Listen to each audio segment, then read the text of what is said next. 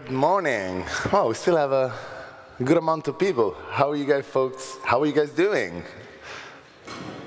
Good? Yeah, I didn't hear you. Um, I guess maybe you partied too hard yesterday. I, I, definitely didn't, although it looks and sounds like it. But uh, I think I think jet lag is starting to wear on me. Um, so I hope you had a great time last night. We have another uh, very exciting day of content.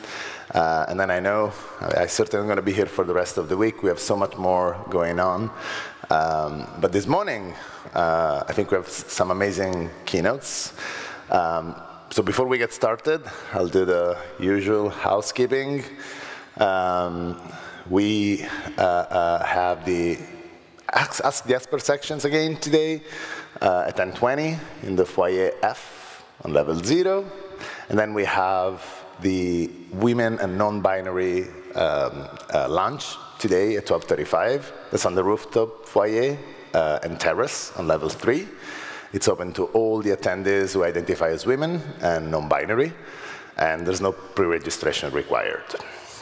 And I know this is the favorite part definitely my favorite part. We have the raffle again at the end of the keynotes today.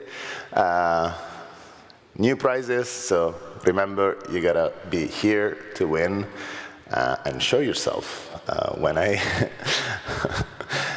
pull the ticket. So, uh, on to our keynotes. I, um, I'm very excited. We had Linus on Monday, and so I'm very excited today to kick off uh, with a kernel developer roundtable.